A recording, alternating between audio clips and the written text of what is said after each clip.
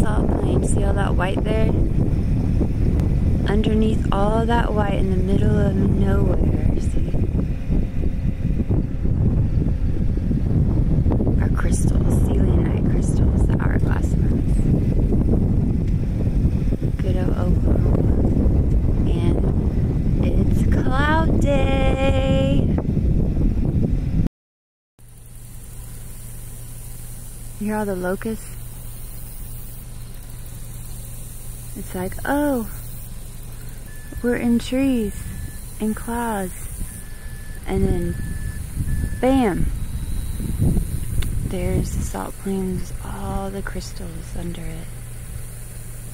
That used to be an ocean here in the middle, well, northwestern part of Oklahoma.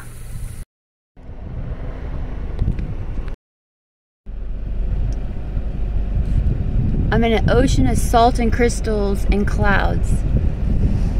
It's like heaven. Here I am way out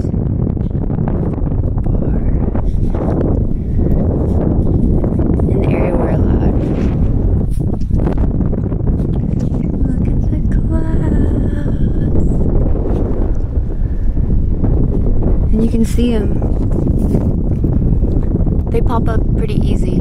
These ones aren't totally formed into, but these are the crystals. Oh shit.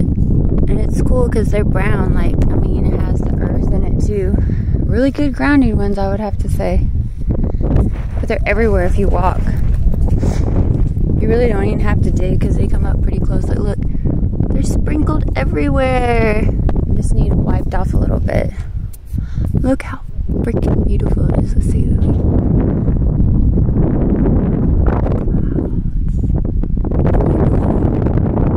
This used to be an ocean here in Oklahoma. It's a trip, man. Sometimes people talk about that Atlantis stuff. Kind of gives you like an essence of it.